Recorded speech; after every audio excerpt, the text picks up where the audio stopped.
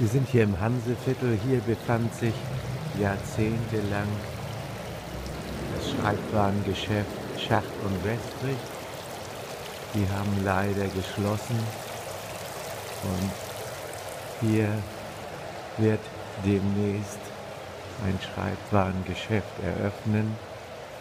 Papeterie Bartelt. Ich hoffe,